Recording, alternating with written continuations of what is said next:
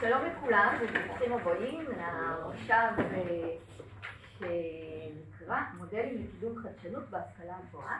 יש לנו כאן שני פאנלים, אה, אחד מסמינר הקיבוצים ואחד מהטכניון. אה, לכאורה הפאנלים האלה נראים ממש לא קשורים אחד לשני, אבל האמת שיש גם השקות וחיבורים, אנחנו נראה אותם אני חושבת תוך כדי ונוכל לדון בזה בסוף. מה שאני מציעה לגבי שאלות זה שבסוף כל פאנל נשאיר כמה דקות לשאלות, נשתדל. אה, אז אנחנו נתחיל עם חינוך לחלל בשילוב רובוטים, הכנת הלומדים של היום לעולם של מחר. ואני אקריא את, את שמות הדוברים. אז יש לנו את אה, דוקטור בוטי שרייבר, שהיא ראש התוכנית לתואר שני בטכנולוגיה בחינוך בסמינר הקיבוצים. חוקרת ומרצה בתחום יישומים טכנולוגיים מתקדמים ללומדים עם הפרעות בקשב ובלמידה וצרכים מיוחדים. ורד כהן ברזילי היא יזמת חברתית וחינוכית, המייסדת של Out of the Box, שהוא עסק חברתי בינלאומי לקידום יזמות וחדשנות בחינוך לחלל ולתעופה, והיא מנטורית בתוכניות האצה בינלאומיות בתחום החלל, הטכנולוגיה והחברה, וגם פועלת לקידום נשים למקצועות הטיס והחלל. אלון שיקר, לעומת זאת, הוא... למה לעומת זאת? לעומת היזמת החברתית אה, בענייני נשים, אתה דווקא אדריכל חלל. והוא גם בעלים של סטודיו לאדריכלות העוסק במבני ציבור, גם בוגר אוניברסיטת החלל הבינלאומית וזוכה מלגת סוכנות החלל הישראלית על שם אילן רמון, והוא גם הקים מיזם שנקרא, בין המקימים של המיזם שנקרא דימארס, שעוסק בהדמיה של מאדים בין כדור הארץ בישראל במצפה רמון, במכתש רמון, ופועל במשימות אנלוגיות, שאנחנו נדבר קצת במה זה, במסגרת המיזם ובשיתופי פעולה בינלאומיים. ואני... דוקטור איילת ויצמן, איילת מובילה אצלנו בתוכנית לתואר שני בנתיב, יש לנו שלושה נתיבים, אחד מהם נתיב שנקרא חדשנות, חלל ורובוטיקה. איילת הקימה את הנתיב, היא מובילה אותו, היא מומחית, מומחית, או יש לה תואר במדעים פלונטריים, נכון? דוקטורט במדעים פלונטריים. כן. אה, כן. ורקע בתחום של חינוך לחלל, טכנולוגיה בחינוך. ואנחנו נספר לכם היום על המודל שלנו, ש...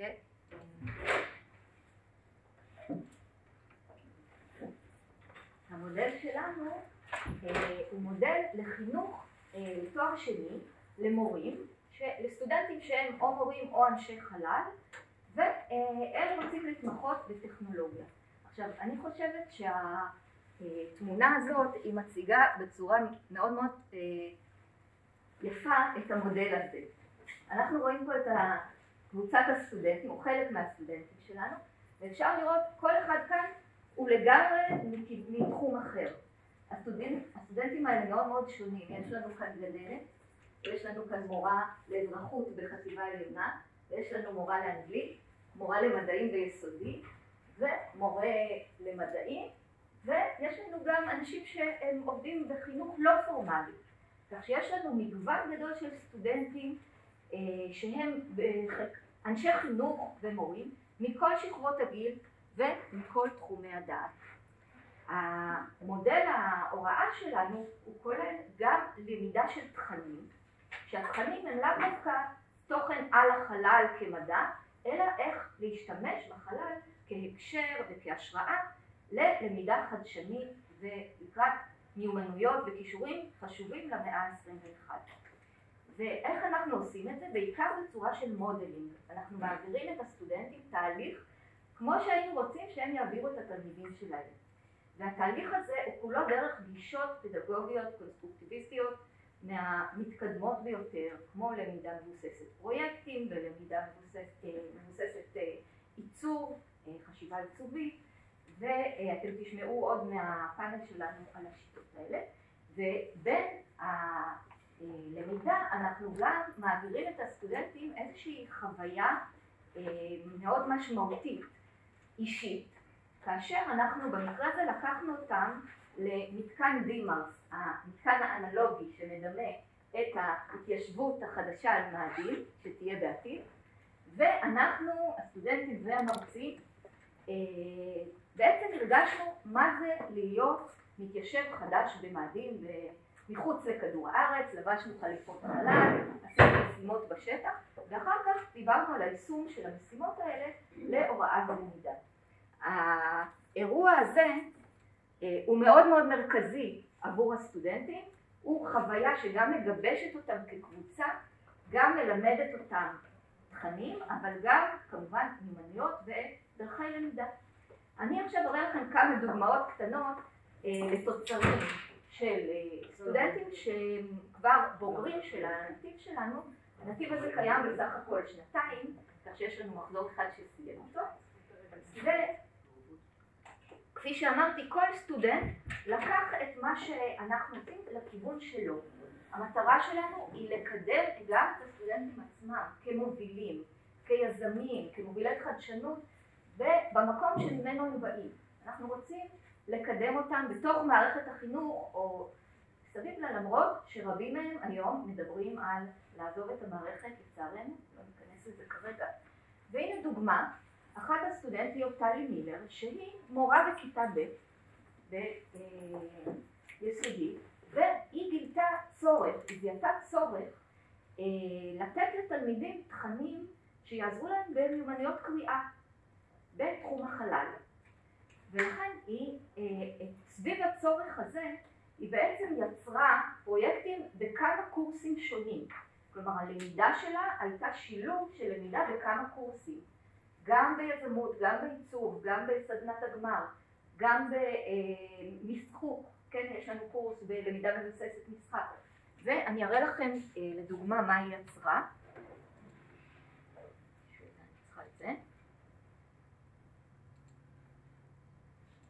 קודם כל היא יצרה אה, אתר, אתר לגיל הרך ללימוד קריאה, קוראים חלל, את כל התכנים פה היא יצרה, כמובן בהנחיה של אה, מרצים, והאתר הזה היא מנסה כיום גם לקדם אותו אה, בארץ בכלל.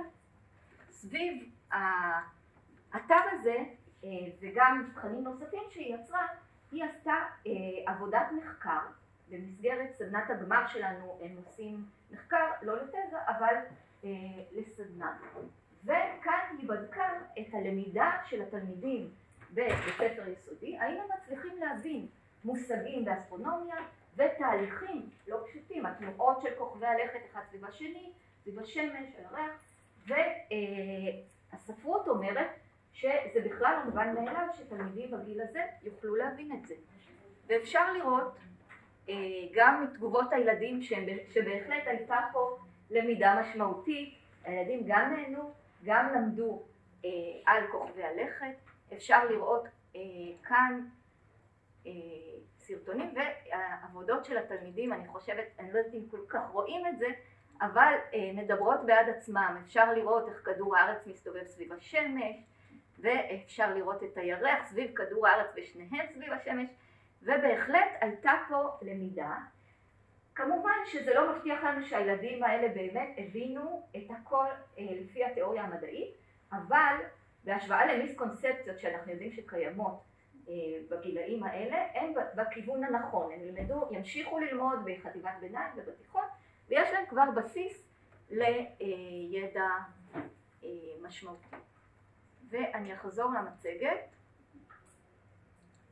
ואני רוצה להראות לכם דוגמה נוספת של שתי סטודנטיות, אחת מהן מורה לאנגלית והשנייה היא בכלל אה, מנהלת מרכז העשרה, פלנטניה, אה, בתחום החלל ובמסגרת של סמינריון רובוטים אנחנו משלבים את הרובוטים מכיוון שאנחנו, הבסיס להוראה הוא חשיבה מחשובית.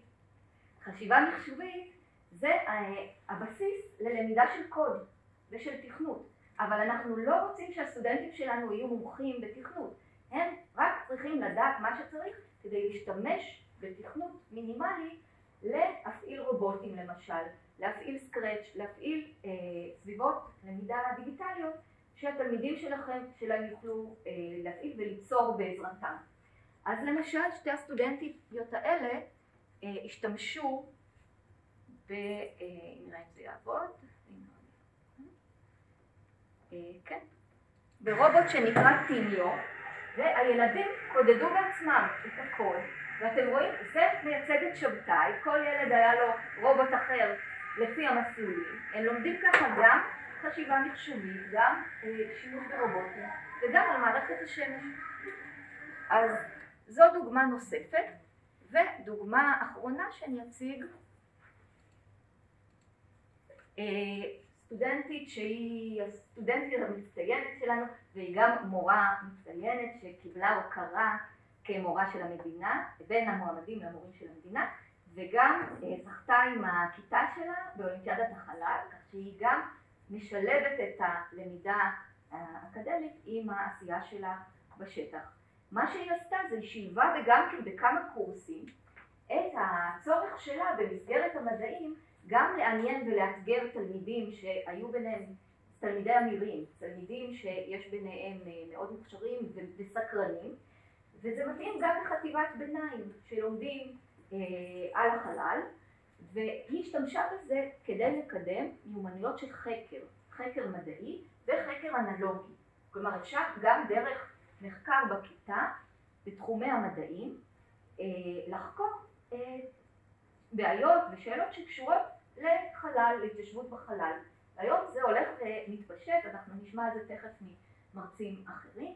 היא עשתה פה גם כן שילבה תוכנית למידה שהיא פיתחה ביחד עם אה, אה, רובוט, זה רובוט אחר, EV3, שגם תלמידים פה הם קצת יותר גדולים, הם אה, בעצם תכנתו את הרובוט ותוך כדי זה הם גם לומדים, זה בעצם הרובוט מזהה אתרים על מאדים ונותן להם משימות. תוך כדי גילוי האתרים האלה. כך שאצל, אה, כמו שאתם רואים כאן, כל הסטודנטים שלנו אה, משלבים את הלמידה בקורסים השונים כדי להגיע לתוצרים שהם גם חשובים להם. ולכן אנחנו חושבים שיש כאן ערך מוסף למודל הזה. הלומדים עוברים תהליך מורכב, זה לא תמיד קל, יש גם הרבה אתגרים וקשיים, במיוחד כשמתחילים ללמוד את הקוד והרובוטים ודורשים מהם לא מעט, הם מתלוננים, אבל כאשר הם מתגברים על האתגרים האלה, הם מרגישים הרגשה של הצלחה, וזה משולב עם החוויה שהם עברו. החוויה הרגשית ביחד עם הלמידה וההצלחה הם שמובילים ללמידה משמעותית לדעתנו ויכולים להביא בסופו של דבר להצלחה שלהם גם כמורים וגם כלומדים בעתיד. ויש פה איזה ציטוט אחד לדוגמה. אז אה, זה היה הרקע ככה על רגל אחת ואני מעבירה עכשיו לבטי לספר את החלק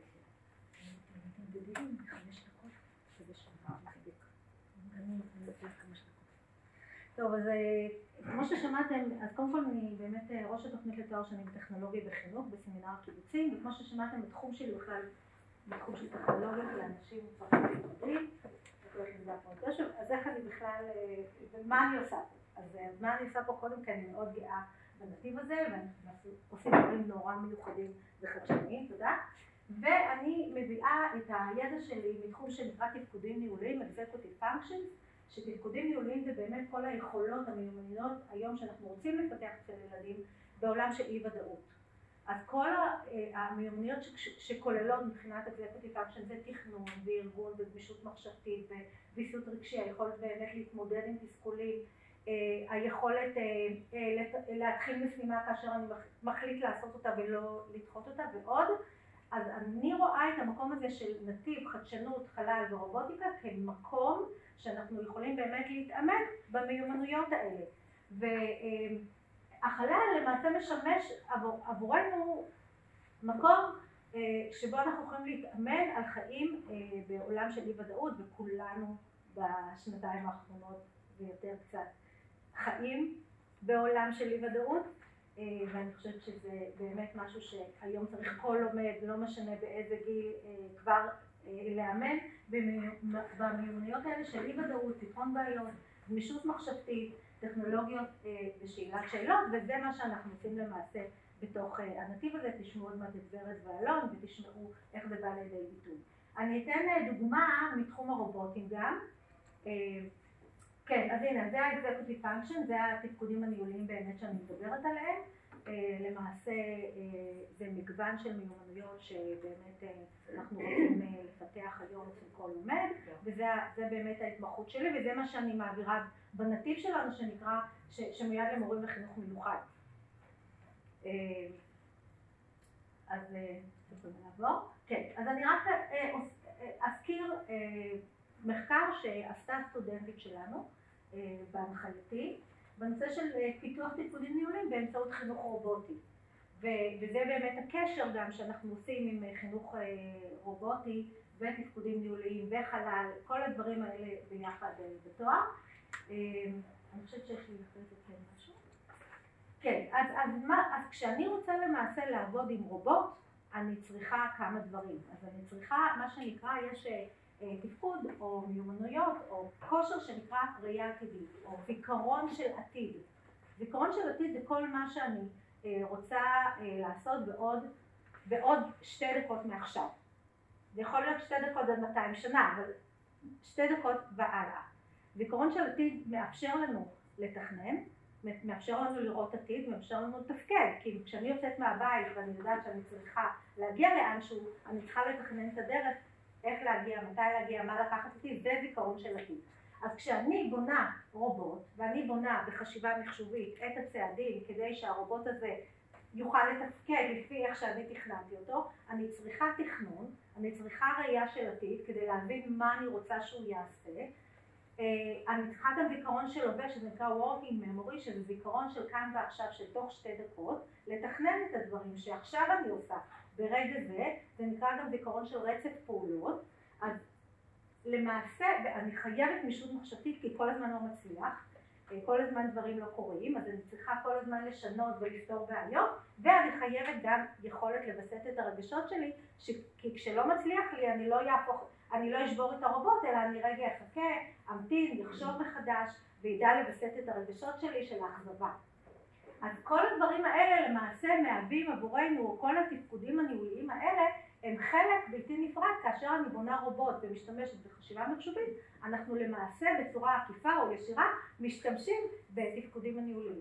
אה, הסטודנטית הזאת למעשה העבירה את המחקר הזה בבית חולים בצפון הארץ, עבור, במרכז למידה בבית חולים בצפון הארץ, עבור ילדים שמגיעים לשם לפעמים יותר, לפעמים הם כן קבועים שם לכמה חודשים, לפעמים הם באים והולכים, אה, וכל הדבר הזה למעשה אפשר להם להיות מאוד מגויסים ומאוד להיות שם ומאוד לרצות להגיע למרכז הלמידה הזה, כי גם היה להם מעניין, אבל גם אנחנו למעשה פיתחנו אה, ובדקנו איך אנחנו מפתחים את התפקודים הניהוליים של אותם אה, ילדים, לדעתי סיימתי, תראה אם יש לי עוד אחד. כן, כן, תודה.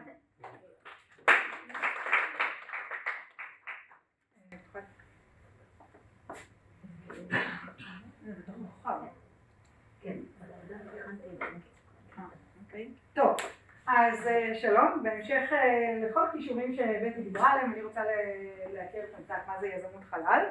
מאחר שכולכם אמרתם שחלל זה יותר מה שיש למעלה, אה, וזה בערך הידע שיש לכם, אז אנחנו קצת נצלול לעומק על מה זה אומר יזמות חלל, וכדי להבין מה זה יזמות חלל צריך להבין מה זה החלל החדש. אז בעצם החלל החדש, אנחנו מדברים בערך על עידן שהתחיל בעשור האחרון וממשיך הלאה. אה, כשמתאפיין בעיקר בכניסתם של היזמים או כניסתם של העסקים הפרטיים אה, שמתחילים לעבוד עם אה, סוכנויות החלל. זאת אומרת שהחלל איננו עוד נחלתם הבלעדית של אותם פקידים מעונבים מנאס"א וסוכנויות החלל האחרות, אלא הוא בעצם נפתח גם לחברות פרטיות וגם לעוד דברים שמעניינים חברות פרטיות, שזה לעשות כסף, למשל לאתר מחצבים שיגרמו להם יפה מאוד, וכמובן לשלוח אנשים לחלל כדי... זה מאוד הבנו, אז אתם יכולים כבר לעבוד בחלל החדש. יזמים פרטיים, אני לא יודעת אם יצא לכם לשמוע את השם אילון מאסק, הוא בעצם נבחר לאיש העשיר ביותר בעולם וגם איש השנה בטיימס. הוא, יש לו מגוון חברות, אבל החברה המשמעותית שלו, שגם מאוד רווחית עבורו, מעבר לטסלה, זה גם SpaceX. אה, ובאמצעות SpaceX הוא בעצם אה, הצליח לייצר אה, חלליות שבשלב הראשון כבר החזירו לארצות הברית את היוקרה ואפשרו לה לשגר חלליות מאדמתה לתחנת החלל הבינלאומית, אבל השאיפה הגדולה יותר שלו היא בעצם ליישב את מאדים. אם נאסא אומרת תוך 2040 אנחנו ניישב את מאדים, אילון מאסק אומר, 2025, trust me, זה הולך לקרות. אז זה בערך מה שמתאפיין החלל החדש, ומאיצים טכנולוגיים, אנחנו רואים באולי עשר שנים האחרונות יש פריחה מאוד גדולה, לא יודעת אם יצא לכם להבין מה זה אה, תוכני, תוכניות האצה, אבל יש הרבה כאלה בתחום של טכנולוגיה, בתחום של יזמות חברתית, ויש גם מאיצים אה, בתחום של אה, יזמות חלל. בארץ יש לנו של התעשייה האווירית, אבל יש גם מאיצים בינלאומיים כמו סטארבאס, שהמטרה שלהם לקחת רעיונות טובים עם אנשים טובים שרוצים בעצם להקים עסקים, סטארט-אפים בתחום החלל ולעזור להם, זה מעין תוכניות שהן נותנות בוסט לאותם יזמים ועוזרות להם בעצם להוציא לפועל את התוכניות שלהם. אוקיי, אז למה יזמות? את זה אני מניחה שכולם יודעים, בטי התייחסה לזה אה, קודם, אבל כמובן שלפי ה-OECD צריך לצייד את הלומדים בכישורים הנדרשים לפיתוח חשיבה יצירתית וחדשנית ולפעול לחיזוק התרבות היזמית. זה למה צריך לעשות את זה ולמה צריך לעשות את זה כבר בבתי ספר. ו... חינוך ליזמות, גם משרד החינוך מסביר למה צריך לחנך ליזמות כבר בתוך בתי הספר ואיזה מיומנויות כמובן אה, ניתן אה, לרכוש ואני בעצם כבר אספר לכם איזה מיומנויות אפשר לרכוש דרך יזמות לחלל. אה, עוד אחד? אוקיי. אז אני בעצם אתייחס היום לשתי תוכניות שלמעשה לימדנו אותן גם תוכנית בשם המאיץ המדעי שממש מכשירה בני ובנות נוער מכיתות ח' עד י"ב ליזמות חלל, ממש להיות סטארט-אפים של חלל. אה, זו תוכנית אה, בינלאומית, כמו שאמרתי, פועלת בתוך בתי הספר בתשע מדינות. הסטודנטים לומדים באקו סיסטם בינלאומי, זאת אומרת לומדים כבר עם התלמידים שבאים ממקומות שונים, והמטרה שלהם ממש לפתוח, אה, זאת אומרת לחשוב על רעיונות, הבעיות בתחום החלל ולתת לזה מענה ולפתוח כבר עסק. זאת אומרת ממש לעשות את הצעדים הראשונים. לקחנו את אותו דבר, רגע שנייה טיפה לפני, לקחנו את אותו מבנה מורולס וניסינו אותו אה, לראשונה השנה אה, בעצם בסמינר הקיבוצי על המורים שלנו. עכשיו אני אוכל להראות בעצם איזה מיומנויות התלמידים והמורים, אנחנו נעשה איזושהי ככה השוואה, בעצם הם זכו אה, לקבל דרך התוכנית הזאת. אז קודם כל, יש את החלק הראשון, חלק האינקובטור, אה, מדגרה לפי התרגום, או למשל ההנבטה, החלק שבו בעצם התלמידים מגיעים בלי שום ידע. הם בערך מגיעים כמוכם, אולי קצת יותר יודעים על אה, טסלה, אבל זה בערך מה שהם יודעים, ואנחנו צריכים ממש לתת להם החל מ... לתת להם את הדברים הבסיסיים, ללמד אותם מהבסיס של החלל, בסיס של יזמות, בסיס של הכל, כשסוף החלק הזה בעצם מתבטא בתחרות חצי גמר. מה זה אומר? הם תוך שלושה וחצי חודשים כבר צריכים להגיש יוזמה מקורית, מבוססת אה, מדעית, אה, וגם אה, שיש לה, יש סיבה בעצם לפתוח עסק כזה בתחום של יזמות חלל, סטארט-אפ חלל. מה הם מקבלים בתהליך הזה? יצירתיות, חשיבה מחוץ לקופסה. למה? אנחנו קודם כל צריכים ללמד אותם, לפני שנתחיל לדבר על, בואו נדבר על עסקים, בואו נדבר על איך אנחנו יודעים לאתר בעיות ואיך אנחנו יודעים למצוא פתרונות בעצם מחוץ לקופסה לבעיות האלה, למידה עצמאית אנחנו רוצים כדי שאחר כך הם ימשיכו להיות סטארט-אפיסטים וידעו להתנהל לבד, הם קודם כל צריכים גם לדעת ללמוד לבד, אבל גם הם צריכים לדעת לעבוד בקבוצות וזה הקושי הכי גדול של התלמידים, לפחות ממה שאני רואה. התוכנית הזאת קיימת חמש שנים, חמש שנים זה הקושי, זה האתגר הכי גדול שלהם. אה, היכולת להוציא אה, יוזמה בעצם אה, מיש מאין, ממש לברוק עולם, מציאת החוזקות האישיות כדי שאני אוכל לעבוד בקבוצה ולהבין גם מה המקום שלי בקבוצה, אני צריכה קודם כל לדעת איפה החוזקות שלי, ואז גם אני יודעת אה, אה, להתנהל בתוך הקבוצה. זאת אומרת, אני אה, מוצאת את הקול האישי שלי, ואנחנו כן גם אה, מעודדים אותם לבחור את הקבוצות דרך החוזקות של כל אחד ואחת. התמודדות עם אתגר ראשון ליזמות בחלל, ניהול משימות, התמודדות עם קשיים, וכמובן כל הידע שציינתי. אותו דבר, מורלס עשינו אה, למורים. אבל הם לא, לא שלחנו אותם לתחרות חצי גמר, אלא אמרנו להם בואו תעשו אתגר ראשון בחלל, אתגר החגים. זאת אומרת האתגר היה, תחשבו על איזשהו חג שהייתם רוצים לחגוג אותו בחלל.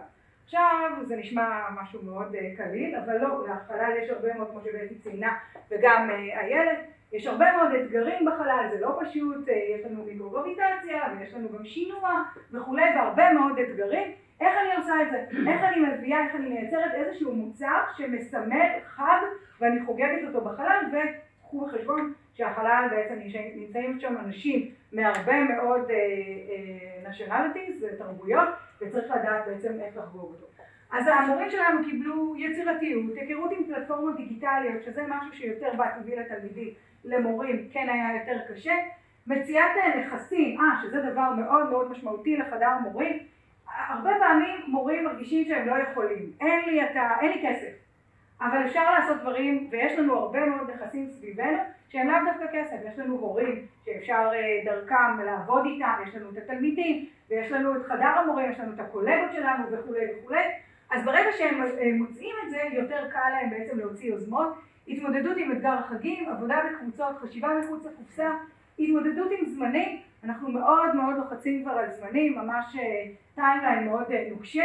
אגב, גם לתלמידים, ה timeline מתבטא גם באופן שבו הם צריכים לעשות פיץ'. פיץ' מכירות, עשר דקות, השעון מתקתק, זהו. אז גם, גם ביקשנו מהמורים גם לשים לב לדברים האלה. היכולת לצאת מגבולות הכיתה, שזה מאוד מאוד משמעותי, לא רק לחשוב על חלל, אלא גם לחשוב על פרויקטים שהם לא, לאו דווקא בעזרים. זאת אומרת, בהתחלה מה שבא טבעי עבור המורים היה בעצם בוא נחשוב על, על דברים שיש לי בכיתה. אז הם חשבו על נגיד לעשות הולוגרמה מדברים שאני יכולה להזמין אצל הספק או ספקית שיש לי, אבל לא, אנחנו רוצים להמציא דברים שהם לא קיימים, אנחנו רוצים לצאת מגבולות הכיתה, אנחנו רוצים לצאת מגבולות הקיים אל הלא נודע. וכמובן לתת להם את הידע. בשלב השני, אה רגע, אז בואו נראה, אז מה זה למשל הדבר הזה? קוראים לזה היימן, זה סוג של סביבון שמסתובב בחלל, בחלל דברים מסתובבים, הולכים להסתובב ולא מפסיקים. אז הדבר הזה, זה בעצם איזשהו... דקה? טוב, הדבר הזה, זה בעצם איזשהו פתרון שמצאו כמה מורות שעבדו ביחד, אבל הם ממש לקחו את הפתרון הזה ולמדו סביבו את כל הנושא הטכנולוגי וכולי, ובאמת שתי מורות שלא היה להם שום קשר לחלל, וחשבו בעצם על רעיון, וזה זה. אז בואו נדלג על עוד קצת, נדלג על זה. משימה מסכמת, המורות קיבלו משימה מסכמת, הילדים היו צריכים לעשות, תלמידים צריכים לעשות ממש סטארט-אפ לכל דבר, המורות דווקא קיבלו, קודם כל היה להם למידה עם מורות בארצות הברית, התמקדו בפרויקט PDL, המשימה הייתה לעשות מעין מיני פרויקט, זאת אומרת פרויקט PDL שנמשך על, על פני כמה וכמה שיעורים, עם אירוע C וכולי, לעשות איזשהו איבנט משמעותי בבית הספר. אנחנו כן ראינו שלפעמים היה קושי לצאת, פעם, לצאת מגבולות הכיתה, רק קבוצה אחת החליטה, זאת אומרת היה להם את הפלטפורמה הזאת, היה להם שיתופי פעולה כבר שהם יכלו לשתף פעולה תוך כדי הלמידה, אבל רק קבוצה אחת עשתה את הפרויקט של האנגלית ועברית וחשבה על שיתופי פעולה על איזשהו פרויקט בינלאומי, אבל מה שהיה מעניין וראינו את זה ממש בצורה מאוד משמעותית זה באמת היכולת שלהם גם לחבר את תחומי העניין שלהם, אז זה יכול להיות, תכף אנחנו נראה שתי דוגמאות, אבל, והדבר השני כמובן לחשוב מעבר, זאת אומרת אם חשבתי בהתחלה בתוך הכיתה, עכשיו אני כבר חושבת רגע, אולי אני אציע את זה למפמ"רת, רגע, אולי אנחנו נעשה את זה משהו גדול, רגע אולי ורד יש לך קשרים, אולי את יכולה לסדר לי איזשהו משהו וזה יכול להגיע אולי לתחנת החלל, זאת אומרת ממש לחשוב בגדול כמה שיותר. אז ממצאי הערכה ומדידה, יש לי עוד איזה? חצי? טוב, אז רק הערכה ומדידה, אנחנו רואים כאן, אתם תוכלו לקרוא ואפשר לקבל את המצגת אחר כך, אבל בגדול אצל התלמידים, שורה תחתונה, גם השמיים לא הגבול תמיד יש לאן לשאוף, זה מאוד מאוד חשוב. מעבר לזה שאנחנו רוצים שהם יהיו הייטקיסטים של חלל, אנחנו רוצים שהם יבינו שיש להם את היכולת לברוא כל דבר ולהתגבר על בעיות, וזאת היה גם כאילו, זאת אומרת, ניצול, הניצול של הפוטנציאל שלי, המיומנות לבוא ולהקים פרויקט מרעיון ומובהקות בתפיסת המסוגלות העצמית. אצל המורים, שימו לב, כמעט אותו משפט, הרבה חלומות לא מתגשמים, קצת יותר זה, פסימיים, אבל אולי החלום שלי כן יתגשם ולכן צריך וכדאי להשקיע ולהתמיד. זאת אומרת, אנחנו רואים שבעצם גם התלמידים וגם המורים הגיעו less לאותו מצב שהמורים הם טיפה נזהרים.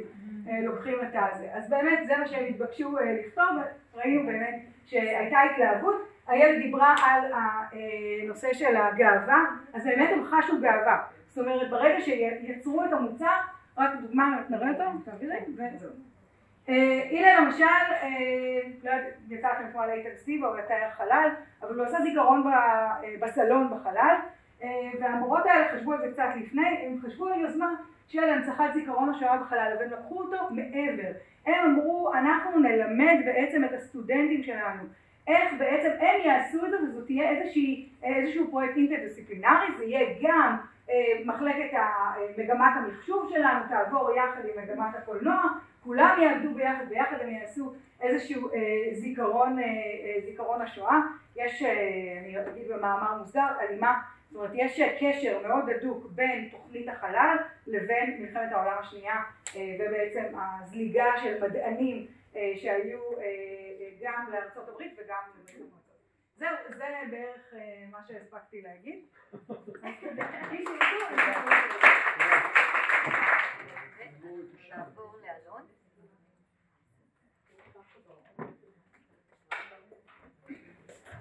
טוב. אז אחר הצהריים טובים, שיהיה לנו שיקה. אני רוצה להציג את הקונספט של קורס סטודיו. זה קלאס סטודיו, זה איזשהו קורס הפוך כזה, בעצם אז הקורס סטודיו בעצם התחלנו, התחלתי אותו בטכניון, בזמנו גם לימדתי בפקולטה לארכיטקטורה ומתוך הלימודים אתה בעצם מבין שיש איזו מגבלה, יש איזשהו קושי חללי, בסדר? למורה, בסופו של דבר הוא עומד מול, לא יודע, 40 תלמידים, 30 תלמידים, ויש איזושהי בעיה גיאומטרית כמעט, ובסופו של דבר התפיסה של, שאני מנסה ללמד, או גם לפעול לפיה, אבל ללמד את המורים, זה בעצם לתפוס את הכיתה שלהם כסטודיו, כסטודיו לכל דבר. עכשיו, מה הכיף בסטודיו? לא, זה כאילו, זה גישה אינטימית בינינו, אבל מה הכיף בסטודיו? שאפשר לעשות קשקוש בלבוש, בסדר? זאת אומרת, בסטודיו אני יכול, אני ללכלך, אני יכול שצבע ישפך על הרצפה ואף אחד לא יגיד לי שום דבר.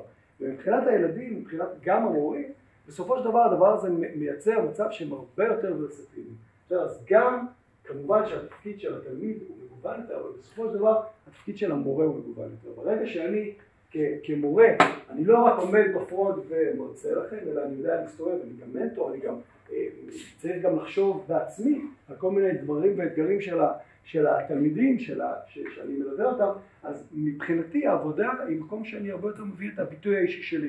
אני יכול להתלבש אחרת, אני יכול להיות הרבה יותר מגוון והרבה יותר מעניין, בקיצור קשקוש בלבוש.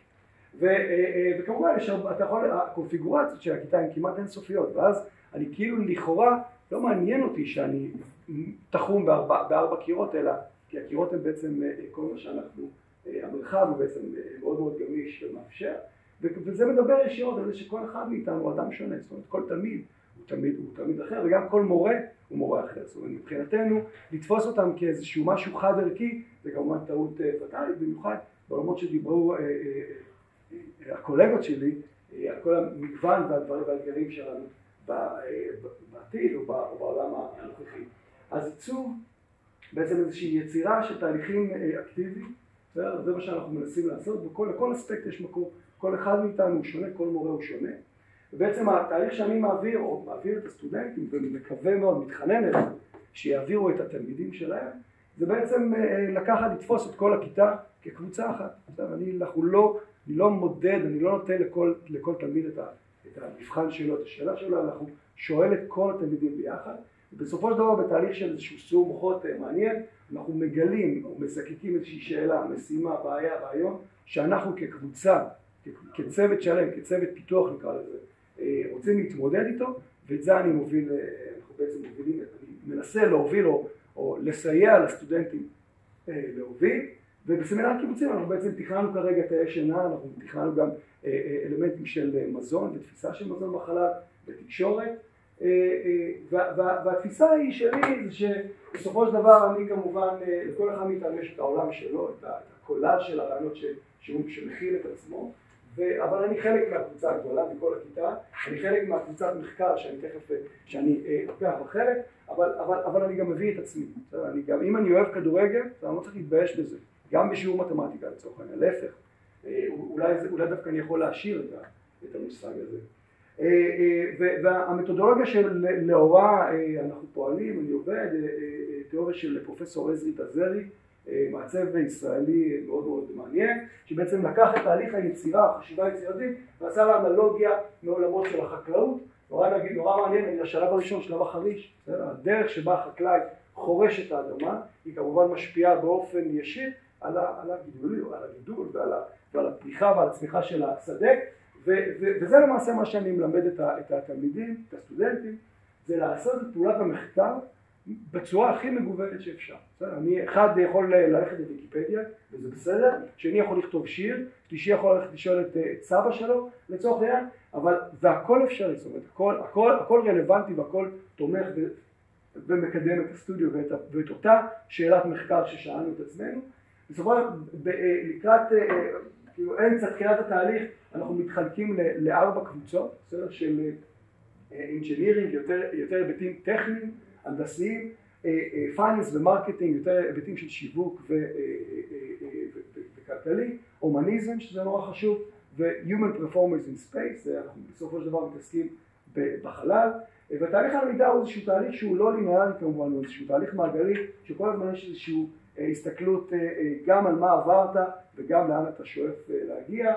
הישגים שהגענו עד, עד כה עם הקורס, אז סתם, אני נורא אוהב את הדוגמה הזאת, שניסינו לחשוב, אוקיי, מה, מה תהיה פירמידת הצרכים במאדים? זאת אומרת, כולנו מכירים את הפירמידה הקלאסית של אסטו, ופה אולי הצורך הזה לשייכות הוא יהיה הרבה יותר, הוא הרבה יותר חזק, ואולי אנחנו לא צריכים לדבר על פירמידה, אלא על עוגת הצרכים, זאת אומרת, פתאום סטודנטים שהם לכאורה, נקרא לזה סתומים בתחום הזה של החלל, פתאום מביאים תיאוריה שאף אחד לא דיבר עליה, מה, מה תהיה פירמידה או עוגת הצרכים במאדים, ועם, ועם הדברים האלה אנחנו בעצם כתבנו, בהנחיה שלי בעצם הסטודנטים כתבו מאמר בסמסטר הקודם והתקבלנו בעצם לכנס אולי הכי חשוב, הכי חשוב בתעשיית החלל ואנחנו הולכים להגיש את זה בספטמבר השנה. אז, אז מבחינתי שסטודנט, אם, אם אני רוצה שהוא ילמד את, ה, את התלמידים בצורה מגוונת ובאמת להתייחס לכיתה שלו כאיזשהו מרחב שהוא סטודיו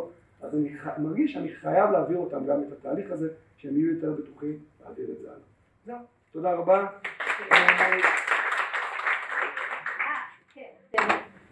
מוזמנים גם להכיר את האתר שלנו, מי שרוצה לסרוק את זה, אתר של הנושאים שלנו,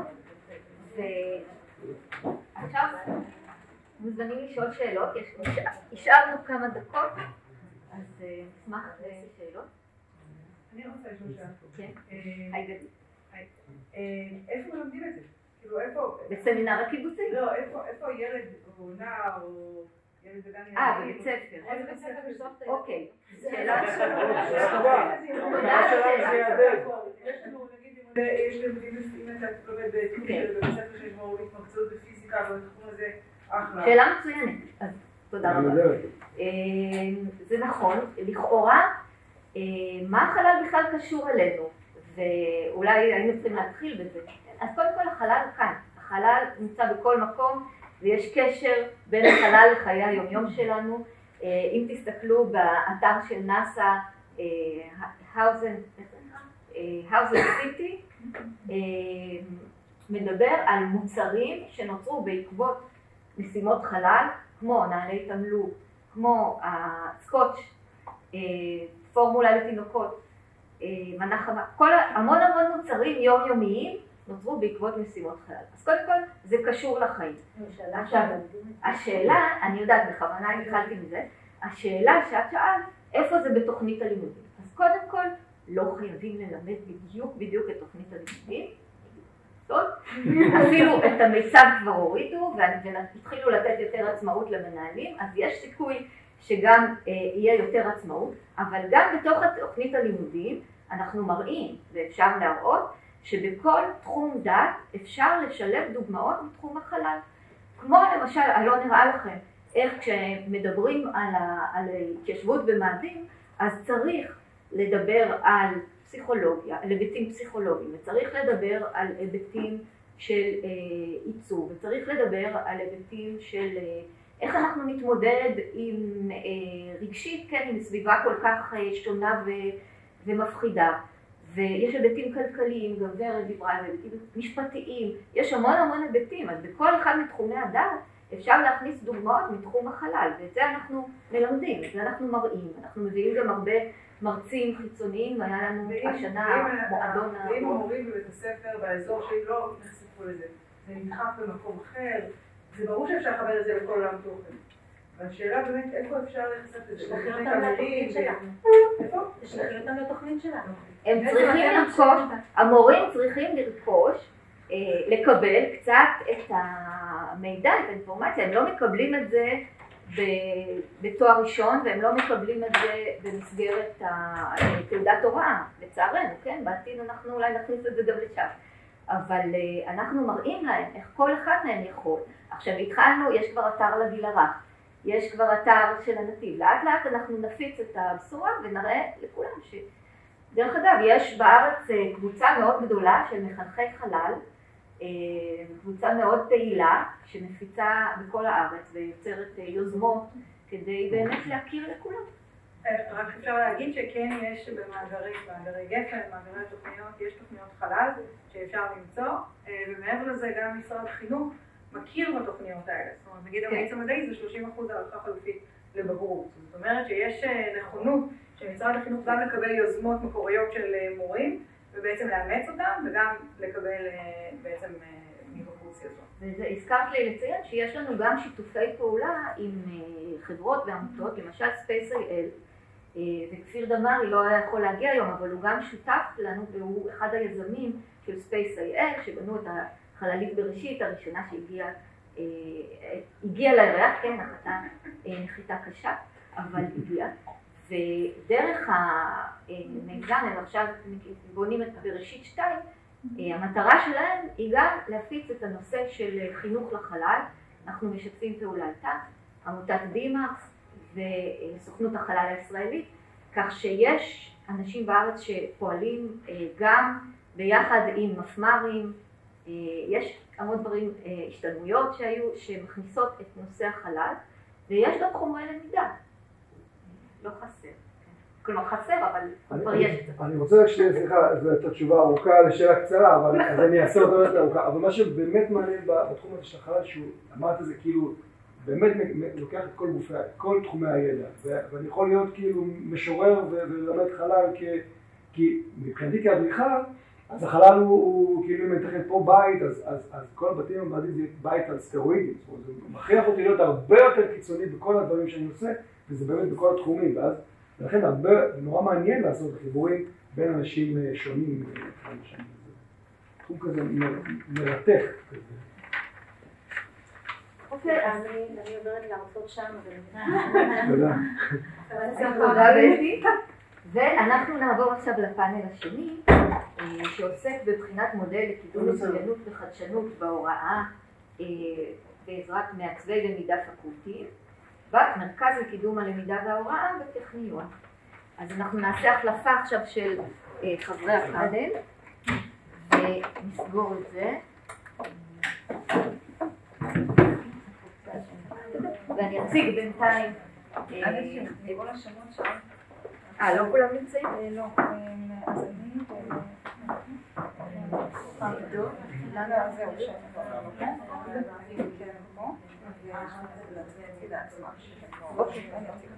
אוקיי, אז קודם כל דוקטור אולגה צ'נטונו, שהיא ראשת המרכז לקידום הלמידה וההוראה בטכנולוגיה.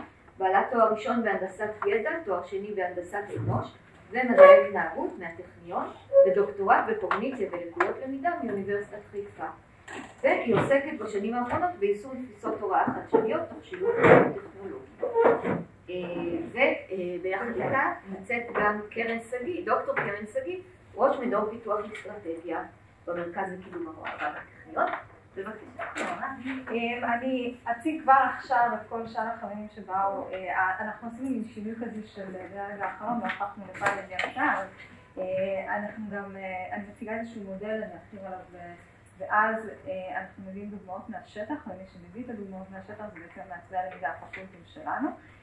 אז אז יש לנו את דוקטור מרינה טל בפקולטה לרפואה, ויש לנו את דוקטור עדי וולט מהפקולטה למתמטיקה, ויש לנו את דוקטור גידי אלון מהפקולטה לפיזיקה. יש לנו עוד את עימד, דוקטור עימד איד, שהוא היה חייב ללכת ללמד, אז הוא לא יכל להישאר עד שעה.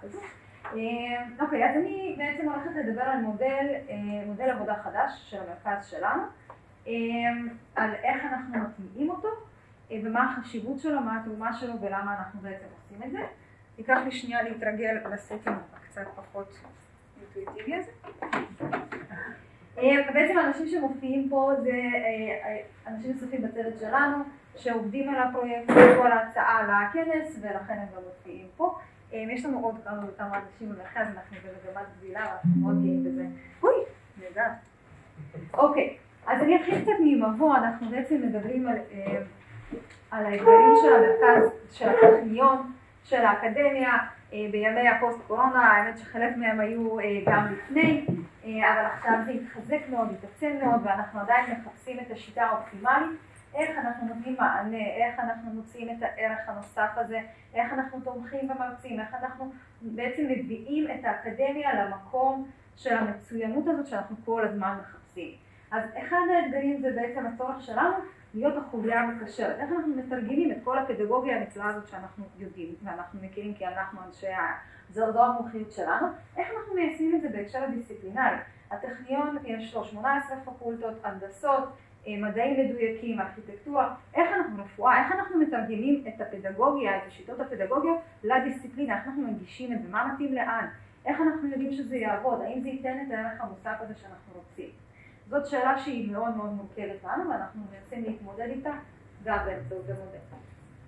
דבר נוסף זה הזמינות וההמשכיות, או אם אנחנו רוצים לדבר פה על upscaling, איך אנחנו נותנים מענה לכמות מאוד גדולה של סטודנטים ומרצים בבת אחת לאורך זמן. זאת אומרת, אם אנחנו יכולים לתת את המענה הזה במשך שנים קדימה, איך אנחנו בונים את התשתיות שלנו. אנחנו לא יכולים להיות all over the place all the time, אז אנחנו צריכים למצוא דרך להנגיש את, ה, את היכולות שלנו ולאפשר למרצים שמיישמים את הפדגוגיות החדשניות להמשיך ליישם אותם גם אחר כך, להמשיך לחדש אותם, להיות כל הזמן שם. השיח הפדגוגי הזה הוא מאוד מאוד חשוב והוא צריך להיות כל הזמן אה, בשטח. עוד דבר, איך אנחנו יודעים שזה עובד? אוקיי, אז עשינו, עשינו המון דברים, אמרנו מודל חדש, אה, שיהיו קורסים, נכנסנו ודיברנו עם הדיקנים, אנחנו מנסים להיכנס לכל מיני מקומות, בכל מיני, בטכניון. איך אנחנו יודעים מה מזה באמת עובד? וכמו בכל דבר בטכניון, אנחנו צריכים למדוד ולהגיד, עובד או לא עובד, כן? שזה גם לגיטימי. אם אנחנו נראה שבעוד איקס זמן המודל שלנו לא נותן את הערך המוסף, אנחנו נלמד מזה, אנחנו נדייק את עצמנו ואנחנו נשנה את עצמנו. אבל מישהו צריך למדוד את זה ולהגיד מה, מה, מה, מה קורה, מה עבד יותר טוב, מה עבד פחות, בין אם זה ברמת הקורס הבודד, רמת המרצה הבודד, הצוות, הפקולטה, המוסד כולו, המודל של המרכז, כל הדברים האלה אנחנו רוצים לדעת למדוד אותם. איך למדוד את זה? אוקיי, זאת שאלה, מה מודדים, מתי מודדים את זה? מה, מה עושים עם הדאטה הזה אחר כך? אנחנו יכולים לעשות מלא דאטה, מה עושים איתו הלאה? אז זו עוד שאלה שאנחנו מתמודדים איתה. מסה קריטית. אנחנו רוצים להיות במצב שבטכניון זה לא סט של עצים, אוקיי? אלא זה ים, רפואה, כמו שהיה לנו בארץ, לצערי, אבל איך אנחנו מגיעים למצב שבאמת זה כל הזמן שם, שיש קהילה חיה ונושמת של שיח פדגוגי, של מרצים, מתרגלים, סטודנטים, שבעצם כל הזמן מחפשים את הפדגוגיה, מחפשים את הלמידה המשמעותית והאיכותית. אז איך אנחנו נותנים לזה מענה? בתור מרכז לקידום הלמידה והוראה, אנחנו אומרים לפתור את כל הבעיות האלה, ולכן אנחנו בעצם הלכנו על מודל מעצבי הלמידה הפקולטי. אז המודל שלנו זה בעצם פיתוח של יוזמה שנקראת The Science Education Initiative, שפותחה ב-2007, אנחנו נדבר על ידי פרופסור קרל ויימן, ויימן, אני אף פעם לא מצליחה לתת את השם שלו, והאמת היא שהיא לא חדשה, אוקיי? מ-2007 לא חדש, זה מיושם אל אוניברסיטאות, לא יודעת, חלקן מוכרות יותר, חלקן מוכרות פחות, אבל זה מיושם. יש מספר ספרים שנכתבו על הגישה הזאת, ומה שאנחנו עושים, אנחנו לוקחים את זה ובודקים האם זה יעבוד בטכניון, מה ה-adjustments שצריך לעשות כדי שזה יעבוד בטכניון, איפה זה נכנס, האם זה עונה לנו על הצורך, כי אנחנו רואים בזה הרבה מאוד פוטנציאל. אז זה ה introduction הקצר מאיפה זה מגיע. אז המודל מדבר בעצם על הקשר, קשר בין המרכז לקידום הלמידה וההוראה, הפדגוגיה, מומחי הפדגוגיה, לבין הפקולטות, לבין המרצים. זו הייתה קרן. קרן היא ראש מדור פיתוח אסטרטגי של המרכז, לכן... אה, אוקיי, אז אנחנו מחפשים לתת מענה מותאם לכל פקולטה, ואנחנו רואים ככל שאנחנו מתקדמים עם המודל שזה באמת באמת קריטי, כי כל פקולטה צריכה משהו אחר, כל פקולטה עובדת בצורה אחרת, ולכל פקולטה יש דגשים, סדרי עדיפויות וכן הלאה אחר לחלוטין, ולכן ההכנסה של האנשים לתוך הדיסציפלינה, אוקיי? אה, זה בעצם, אה, זה, זה, זה בעצם נותן לנו איזשהו יתרון מאוד משמעותי, השיתוף פעולה עם הפקולטה הרבה יותר חזק, שהפקולטה יודעת שאנחנו באים ושואלים אותם מה הם צריכים, איפה הם יכולים להיות איתנו במקום הזה ש, ש, ש, שלהם. לא אנחנו לוקחים ונותנים לכולם את אותו הפתרון, אלא אנחנו כל פקולטה בנפרד. אז מעבר לזה שאנחנו מייצרים פה את הקשרים האלה, ש, ש, שזה priceless, אוקיי? אנחנו בעצם עושים פה איזשהו upscaling, אוקיי, אנחנו מייצרים תשתית אנושית, תשתית, שהיא, אה, תשתית של משאבים, תשתית של כלי מחקר, וכל הדבר הזה שאנחנו בונים עכשיו as we go, זה מודל דינמי, אנחנו ממש לומדים אותו ומתפתחים יחד איתו, כל הדבר הזה אמור להיות תשתית בעתיד לטכניון, שבעצם אנחנו בשאיפה להגיע למצב שאנחנו sustainable, כלומר אנחנו בעצם בנינו, השקענו פה השקעה מאוד מהותית, והאנשים צברו גוף ידע מאוד מהותי ואנחנו יכולים להמשיך ולהתקדם. אמ, אוקיי, אז איך אנחנו עומדים בטכניון? אנחנו בעצם, כמו שאמרתי לכם, לוקחים אנשים שהם מגיעים מתוך הדיסציפלינה, אה, מומחים לתחום דעת, כלומר, גידי למשל, אני הולכת לתת אותו כדוגמה, הוא פיזיקאי, הוא דוקטור לפיזיקה, והוא עוסק בעיצוב למידה בפקולטה לפיזיקה. אוקיי, ועדי אה, מתמטיקה, דוקטור למתמטיקה, מלמדת מתמטיקה, עוזרת לפקולטה למתמטיקה בתחום הזה, כלומר אנחנו פה עובדים בתיאום. אמ, אז, אז זה בעצם התפקידים שלהם, המטרה של המודל, כן, זה גם לשכלל את ההוראה עצמה, שזה גם אוקיי, בשביל זה אנחנו פה, כן, אנחנו באים כדי לבוא ולתת כלים חדשניים, להטמיע את הכלים, לעזור להם לעשות את זה, אבל כל העניין פה הוא השיתופי פעולה וההתמחות הזאת המיוחדת שלהם, שלהם, אה, גם בדיסציפלינה וגם בפדגוגיה, שזה מין מצב שלא באמת אה, קיים בטבע, נורא נורא קשה למצוא אחר אחר. אז זה, זה, זה, זה, זה השרטוט שלנו, כן? אז אנחנו כמרכז לקידום הלמידה וההוראה, יש את הפקולטות, כל פקולטה בעצם ממנה מישהו שהוא נאמן הוראה מטעמה. זה חוליה מקשרת, יכול להיות דיקן, סגן דיקן להוראה, זה יכול להיות מישהו אחר שעוסק בהוראה, זה מישהו מהפקולטה. ויש את החבר'ה שלנו, המעצבים אה, הפקולטיים.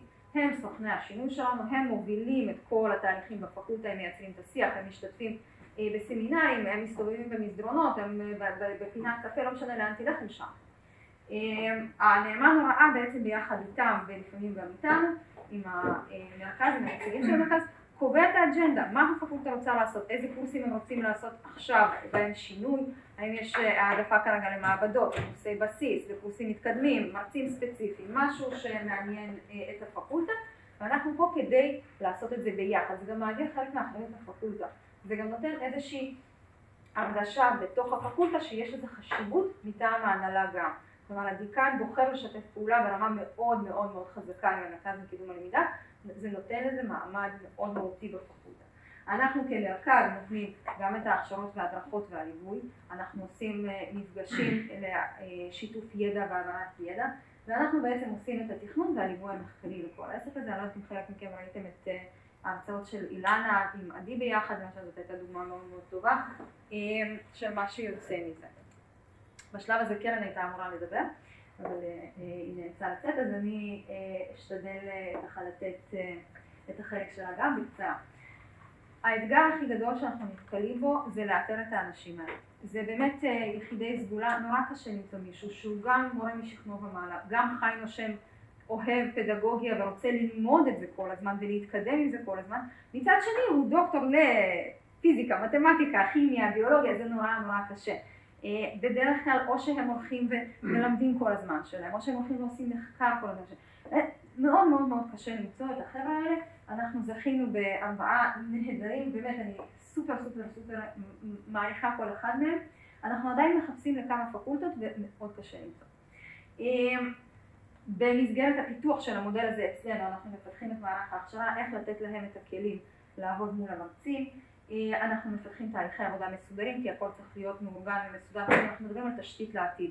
אוקיי, כשאנחנו נעסיק את החבר'ה הבאים אנחנו רוצים כבר לבוא אליהם עם איזושהי תוכנית מסודרת, איך אתה ניגש לדיקן, איפה אתה נכנס, מה אתה צריך לעשות, איפה אתה פונה אלינו, איך אתה מתכנן. אה, והמפגשים הצוותיים שלנו זה שוס ענק, זה תענוג לשבת במפגשים האלה, אנחנו משתפים את, ה, את, את המצוקות, את ההצלחות, את הידע, אני גיליתי שככה, אני צריך עזרה פה, וזה זה, זה באמת, זה מדהים, זה מעניין, וזה גם מאוד מאוד עוזר לנו. אמ, אז אני חושבת שכבר די כיסיתי את כל הנקודות האלה, כן? אז הם צריכים להיות עם תשוקה, תשוקה להוראה, הם צריכים להיות עם, עם ידע מאוד מאוד מבוסס בדיסציפלינה, כי היכולת שלהם לגשת למרצה ולדבר איתו בשפה שלו, אה, זה, זה מאוד מאוד חשוב. אמ, אני לא אבוא למרצה בפיזיקה ואני אגיד לו איך ללמד פיזיקה, אה, ופשוט יגיד לי אין לך כאילו, מה, מה, זה לא עובד ככה. אה, ניסיתי. זה מורכב. אה, אז, היכולת הזאת היא, מדהימה, הם מובילים את השינוי, הם, הם באמת ה leaders, הם, הם אלה שמייצרים את האקשן בפקולטה בתכנים שלנו. אה, ה impact הוא באמת מורגש. עכשיו אנחנו עובדים על המודל, אנחנו עובדים במודל מפברואר-מרץ כזה, אנחנו מרגישים את זה כבר. ואנחנו מקבלים גם תקציבים נוספים להעסקה של אנשים נוספים. שזה אומר שלא רק אנחנו מרגישים את זה, וזה ממש ממש משמח.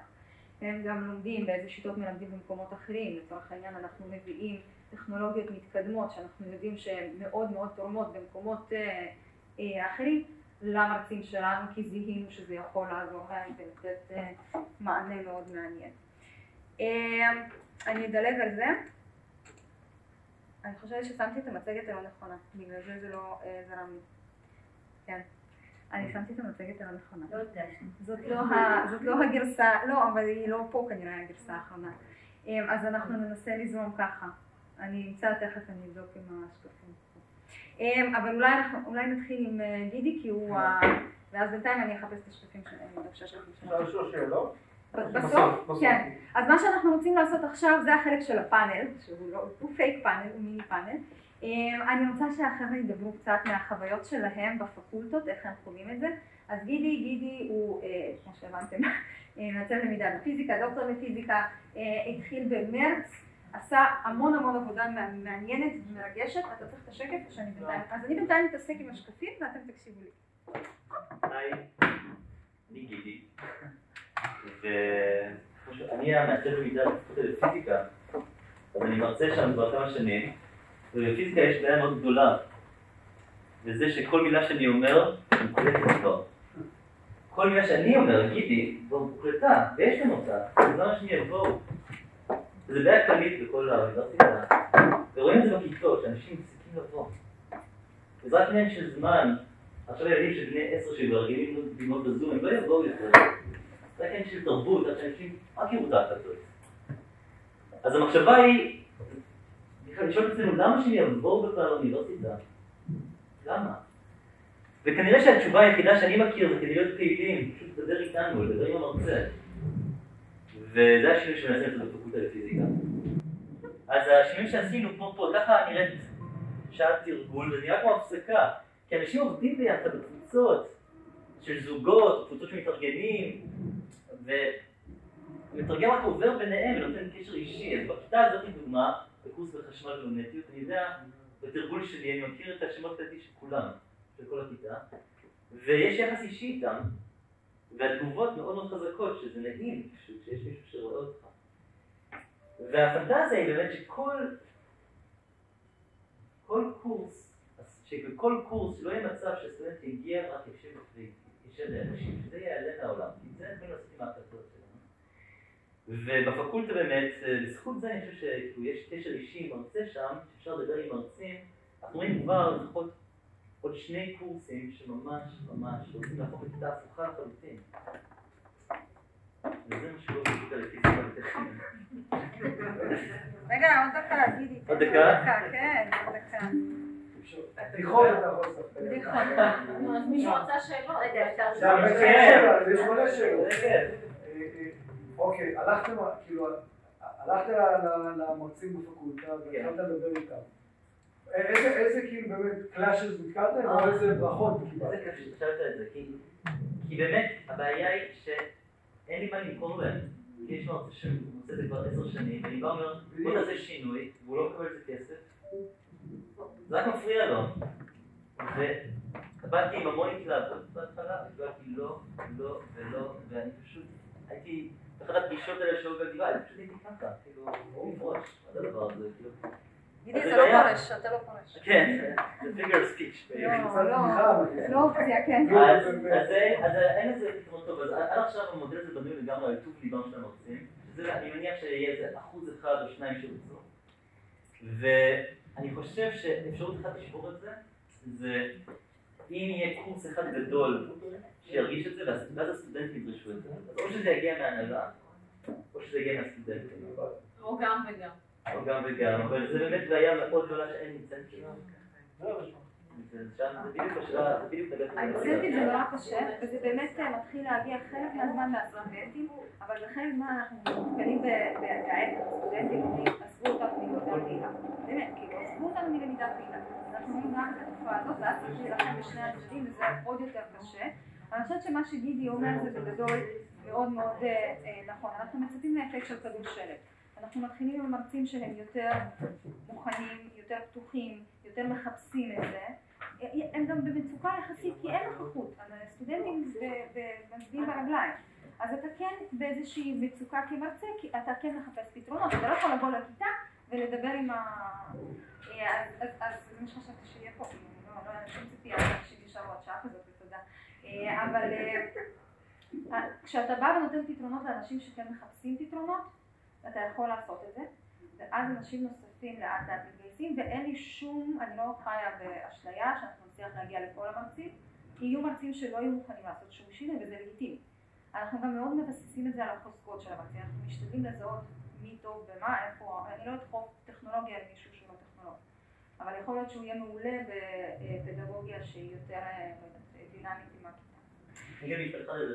אני חושב שההזדמנות הגדולה פה היא שאנשים לא מגיעים לכיתה, ואז רואים בעיניים שצריך לעשות שינוי. התהליך הזה התחיל לפני עשר שנים כבר, אני חושב שאני למדתי בזה, 2009 תואר ראשון, התחילו הקלטות.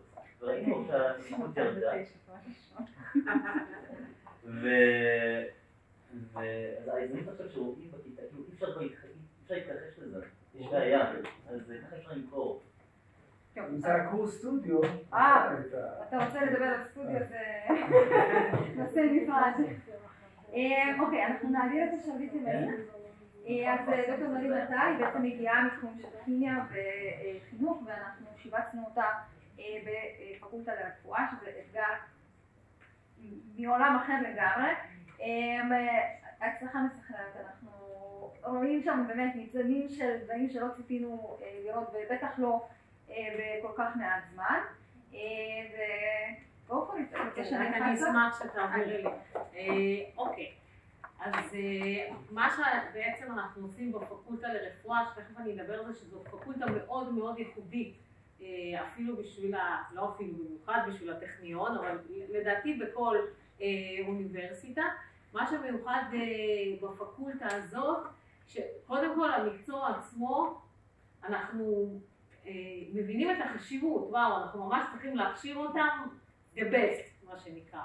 אה, דבר שני, בטכניון, אני לא יודעת כמה אתם מכירים, הפקולטה נמצאת במיקום אחר מכל שאר הקמפוס. אם הקמפוס הראשי והעיקרי הוא בנווה שאנן, בנשר נווה שאנן, הפקולטה לרפואה היא ליד בית חולים רמב"ם, בגלל הנוחות, כל העניין הזה.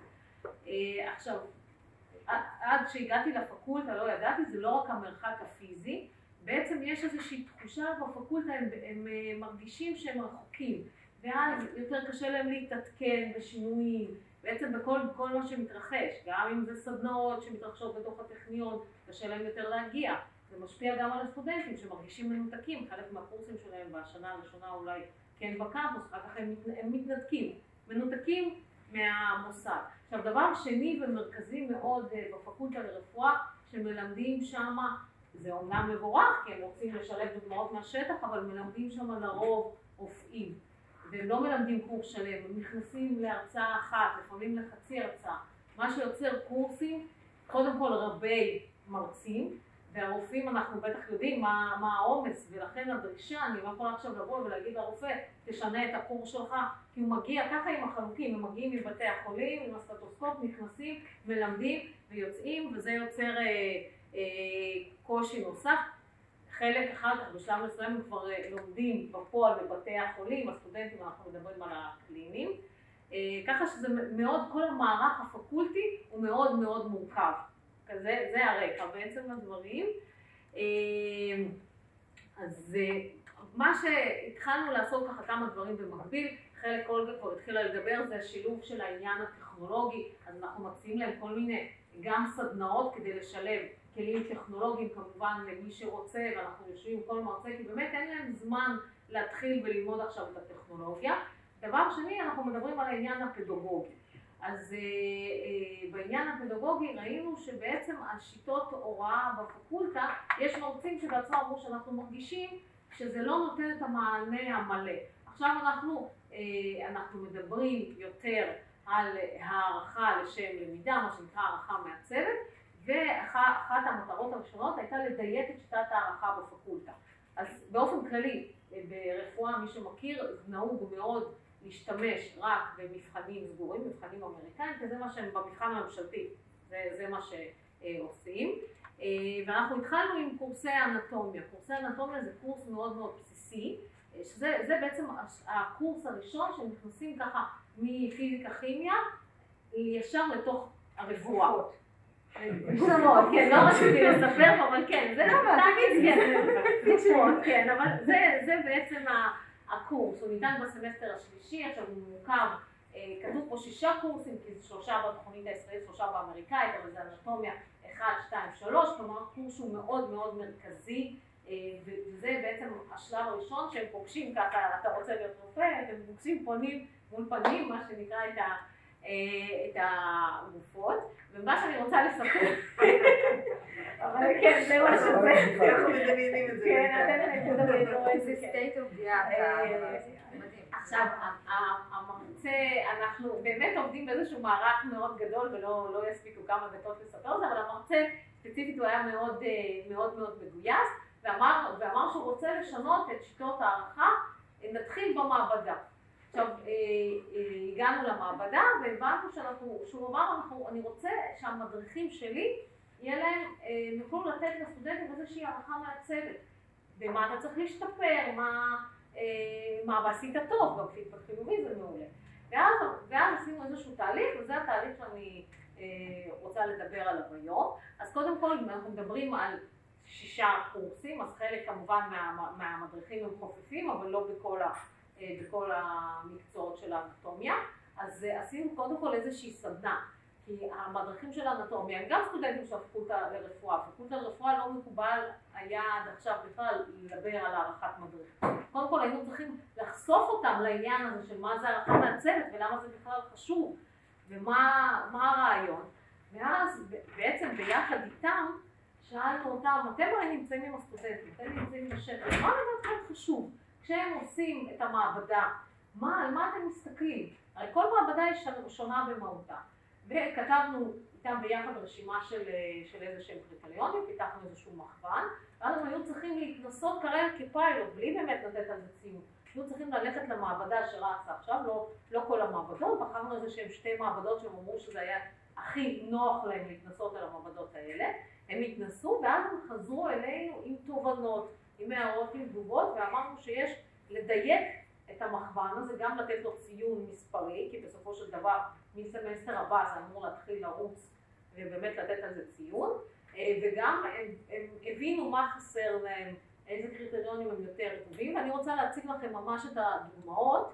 אז זה מה שהתחלנו, הגענו לסדנה, עכשיו כל זה לא, לא היה, הבאתי להם בעצם טבלה ריקה, כלומר היה מימדים, היה קריטריונים, מדדי ביצוע, כדי שהם לא, לא, אין להם שום קשר להוראה, הם לא יודעים מה זה מכוון ואיך נראה מכוון, והתחלנו מזה שכתבנו פשוט על הלוח, ואז אמרנו איזה מימדים זה, איפה אפשר לחלק את זה בתוך הקריטריונים בפנים, וככה סיימנו את הסדנה עם משהו כזה, עכשיו זה, זה לא הגיע אליהם בצורה כזאת, עשינו איזשהו מכוון דיגיטלי כדי שיהיה להם יותר קל אה, להזין את זה בזמן אמת במעבדה, ואז כמו שאמרתי הם חזרו אלינו עם תובנות, ותסתכלו על הגרסה המעודכנת, ההערה המרכזית שלהם הייתה, קודם כל הם הרגישו ש... אה, שיש סטודנטים שהם ממש היו מעל המצופה, כלומר יש להוסיף עוד, אה, עוד, אה, כן, עוד כאילו מדרג, אוקיי? ודבר נוסף, הם אמרו שהם לא תמיד ידעו לדרג מה זה אחד ומה זה שתיים, מה זה שלוש, זה בעצם מה שהיה חסר להם.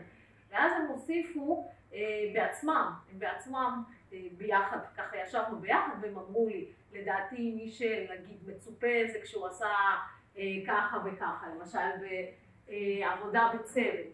אז כל, כל קריטריון כזה הם ישבו, עכשיו מה שחשוב לי להגיד, מאיפה הם הביאו את הרעיון הזה, אתם רואים שזה נראה שונה לגמרי, רק יש פה אחד, כן, אז הם בעצם אני מדברת שוב על לימודי רפואה שלוש שנים פרה-קלינית שהם לומדים ככה בכיתות, במעבדות, ושלוש שנים קליני זה הסבבים בבתי חולים. בבתי חולים הם מקבלים משוב בסוף כל סבב, וככה נראה המשוב שלהם. אז הם אמרו לי בעצמם, אחרי שהסברתי על המחמד ומתנסו, אמרו לי, אה, זה כמו המשוב אחר כך בבתי חולים, אלה כבר מהשנים המתקדמות, ואז בנינו להם אחד כזה, שזה גם מתאים למעבדה, אבל מצד שני, זה, הם רגילים למסגרת הזאת, הם רגילים שזה נגרע ככה, הם רגילים שהם ממלאים, הם רגילים שהם מקבלים את זה. אז זאת הייתה ככה דוגמה אחת מהשטח. אני חושבת שאני...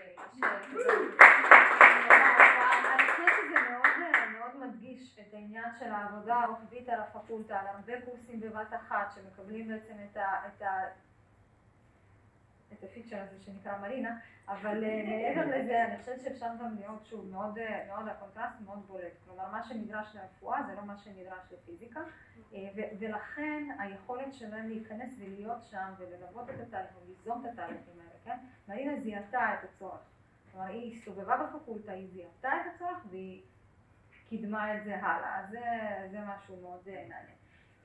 אנחנו ניתן גם כמה דקות לעדי, למרות שאולי שוב חלק מכם שמעתם אותה אבל עדי היא דוקטור למתמטיקה, היא מלמדת מתמטיקה בטכניון, היא התחילה בתפקידה אצלנו במרץ השנה וגם עשתה כמה דברים מאוד מאוד מעניינים. אוקיי, היי לכולם, אני אקצר כי לכולנו היה יום ארוך. יותר חזק. אני אדבר יותר חזק, בסדר? אוקיי, אז אני אקצר רק שקף אחד. אצלנו בפקולטה למתמטיקה, באופן קצת הפוך מרפואה, יש את הקורסים הפקולטיים שמלמדים חברי הסגל, שזה 30, 40, מקסימום 60, 80 סטודנטים, ויש גם הרבה קורסי שירות שהפקולטה למתמטיקה נותנת לכל שאר הפקולטות של ההנדסות ושל המדעים, ושם אנחנו מדברים על קורסים של 400, 500, לפעמים אפילו אלף סטודנטים בסמסטר אחד. ואת זה מלמדים אנשי חברי סגל הוראה, שמרכז עבודתם זה בקמפוס, בללמד קורסים, לפעמים גם באוניברסיטאות ומכללות אחרות, קצת הפוך מהרופאים שבאים עם החלוק. ואצלנו בפקולטה, בעקבות הקורונה, שהאירה זרקור על תהליכים שגם גידי דיבר עליהם, שכן צריך שינוי וצריך לחשוב על מה עושים, התחלנו בשנה האחרונה לקיים ועדת הוראה וסמינר הוראה. אני אראה לכם את מקצת הנושאים שנידונו בשנה האחרונה בסמינר, אז אולגה יכולה להריץ. יש כאן כל מיני פעילויות בקבוצות ופרויקטים וכיתה הפוכה כן או לא. הנה מהפכת הכיתה הפוכה צועדת בניצב, יש הרבה דעות, את כולם אנחנו מביאים, ויש שיח מאוד גדול. אז כאן בדיוק המודל נכנס כמו כפפה ליד, כדי שבאמת נוכל להוציא לפועל מה שמרצים רוצים ומתכננים. וזה ממשיך וממשיך, אני חושבת ש...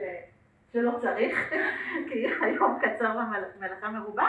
אני רק אולי אגיד מילה על התמונה שהייתה בשקף, אז זאת דוגמה קטנה, לא יודעת אם מצליחים לראות פה, יש כאן סטודנטים שעובדים בקבוצות בסטודיו, כיתת סטודיו, בספרייה המרכזית.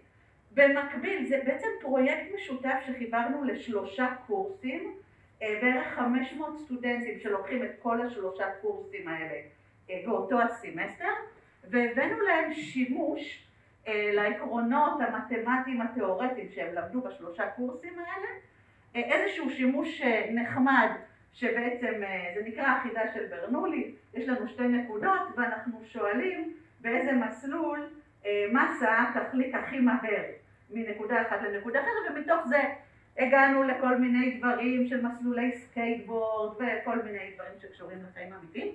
אז במקביל לחבר'ה שפתרו כל מיני חידות ושיעור אינטראקטיבי אה, ששמנו להם אה, בספרייה, היו לנו גם עוד אה, מאות חבר'ה במחשב בפלטפורמה שנקראת Engagely, מאוד דומה לזום, וגם שם הם עבדו בקבוצות, והם כאן בתמונות, אבל גם היו חבר'ה שלא הספיקו השולחנות בחדר, אז הם עבדו, זה היה להם דווקא הכי כיף, הם עבדו בצל העצים שליד הספרייה עם שולחנות קרן קיימת שיש שם, וזה משהו שהמודל שאולגה הציגה אפשר לנו לעשות, לקשר בין המרצים בקורסים, לתקצב אותם ולתת לסטודנטים הזדמנות ללמידה פעילה כזאת.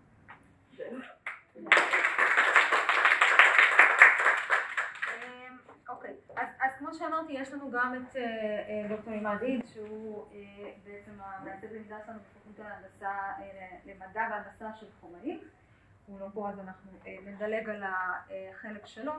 ומה שאני, היה לי חשוב גם להגיד לסיום, ודילגתי על זה כי המצגת הייתה לא נכונה, אז רק להגיד שאנחנו מעסיקים, המרכז מעסיק שתי חוקרות שמלוות את כל התהליך הזה, התהליך הזה ושאר התהליכים, יש לנו גם מעצבי למידה שהם לא משויכים לפקולטות, יש לנו כרגע רק ארבע בתוך הפקולטות כי נורא קשה למצוא, אבל אנחנו כל הזמן מחפשים, ולכל שאר הפקולטות אנחנו עדיין נותנים מענה in-house, אנחנו עדיין ממשיכים לעבוד איתם, אז החוקרות שלנו עובדות עם המעצבים, וחלק מהזמן הן עובדות ישירות מול המרצים, ואנחנו מלווים את זה כל הזמן, אנחנו מנסחים את השאלות, אנחנו מודדים את הלמידה, אנחנו מודדים את השביעות רצון, אנחנו משתמשים ב mixed methods, מה שאפשר, הכל, אנחנו אוספים את הדאטה ואנחנו בונים איזשהו גוף ידע מחקרי, כלומר גם מה, מה, מה יוצא, מה טוב, מה לא טוב, מה אפשר להעביר הלאה לפקולטות נוספות וקורסים נוספים, מה לא עובד ולא נמליץ על זה יותר, וגם האם המודל שלנו באמת נותן את המענה שאנחנו חושבים שהוא נותן,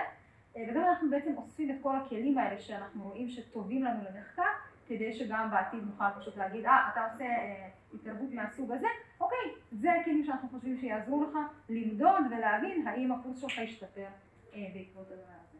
אז זה המודל, ואלה היינו אנחנו. וזה באמת סוף היום, אז אני חושבת שאנחנו, שאלות אם תרצו, ונסגור בזה. כן, כן, איפה? כן, היי, היי, לא מפה סבבה. רציתי לשאול אם בתוך המודל הזה יש עניין של השקעת משאבים, תקציבים, הזרמה בתוך הפקולטה, גם בקטע של אינטרסים, אבל גם כי השקעה כסף, ואנחנו רוצים לתגמל אותה. אז, אז קודם כל ההשקעה התקציבית הולכת על העסקה של האנשים, נכון. שזה חלק בלתי נפרד מזה. חלק גדול מהקורסים כרגע מקבלים תקצוב במסגרת התוכנית התלת-שנתית, אלה שהפקולטות בחרו לשים בתוכנית, בחרו כאלה שיעברו שינויים, אז זה מודל אחד של השקעה כלכלית. מעבר לזה יש לנו גם מודל תקצוב לקורסים לא במסגרת היוזמות, לא במסגרת המעצבים הפקולטיים, אלא במסגרת שהיא כלל טכניון, גם בפקולטות שאין בהן מעצבים. אנחנו בעצם מזמינים את כולם, זה כמו סוג של קול קורא, בואו תגידו לנו מה כואב לכם, מה אתם רוצים לעשות, תבנו תוכנית פדגוגית, אם אנחנו, ואנחנו בעצם מקצים לזה יחידות תעסוקה בעיקר. כלומר, בשביל לעשות את, את, את הבדיקה ואת התשתית. עכשיו, בדרך כלל הסיפור הוא כזה, אנחנו יכולים לממן את ההתחלה, את הבדיקה, את התשתית, אבל הפקולטה תצטרך לממן את זה אחר כך, אחרי הפיילוט. זאת אומרת, אנחנו יכולים לתת יחידות תעסוקה כדי שהמתרגל יפתח גוף תרגילים או את הפרויקטים או הדרכות לאלה שבסופו של דבר ידריכו את הקורס הזה כדי שהם ידעו איך לעשות PBL. כלומר אנחנו כן עושים איזושהי השקעה תקציבית במסגרת יוזמות כשאנחנו בוחרים במה להשקיע בהתאם לתוכנית הפדגוגית והנכונות של אותו מרצה לשתף איתנו פעולה גם במדידה. כי אם אני משקיעה בך כסף ואת לא מוכנה לתת לי אחר כך לבדוק האם זה עבד, אין לי איך לדווח את זה אחר כך כמשהו שעבד, לא עבד, ואני לא יכולה לעשות upscaling לזה אחר כך. אז זה השיקולים, אבל בגדול כן, יש לנו, יש לנו תקציבים לא כמו שהייתי רוצה, אבל דפנטלי יש יותר ממה שהיה קודם. רציתי רציתי לשאול מה ההגדרה בעצם למעצב למידה מבחינתכם? לא חושבת שיש הגדרה- זה מאוד, אה, דינמי, זה-? פחות או יותר אה, מסתכם בזה שהוא צריך להיות אה, מומחה לדיסציפלינה שרלוונטית לפקולטה. לצורך העניין, לפקולטה לביולוגיה אנחנו ראיינו כבר לדעתי חמש פוטנציאלים, חמישה מועמדים פוטנציאליים. הם כולם באו עם רקע מאוד מאוד חזק בביולוגיה, אבל לא היה להם מספיק פשן להוראה או כל מיני סיבות אחרות, ולכן אנחנו עדיין לא מצאנו לביולוגיה. כלומר, אני צריכה לראות שאנחנו מראיינים אגב ביחד עם הפקולטה, עם הדיקן בדרך כלל לפחות, ולפעמים הוא גם מביא עוד, עוד מישהו, כשהם שואלים את השאלות הדיסציפלינריות, הדיקן רוצה להבין האם בן אדם שמתיימר להיות דוקטור זה אכן, אכן, לא סופרים. ואנחנו, אני לא מצפה שהם יכירו את הפדגוגיות החדשניות, אני כן מצפה לראות אצלם פשן, עניין, רצון ללמוד את הדברים האלה, ואיזושהי הבנה קונספטואלית של מה קורה בשטח עכשיו, כשאתה בא לרעיון לתפקיד כזה, אני מצפה שתעשה שיעורי בית, ותדע מה עכשיו ואז ואז את מכשירה אותם ואז אנחנו? מכשירים אותם. כן. מה אנחנו לגבי עושים כלים דיגיטליים? אה, יש? זה שבע. כלים דיגיטליים זה נושא נפרד. יש לנו, בעצם אנחנו, אה, אנחנו, הקשר עם המרכז הוא מאוד, אה, מאוד חזק והוא כל הזמן.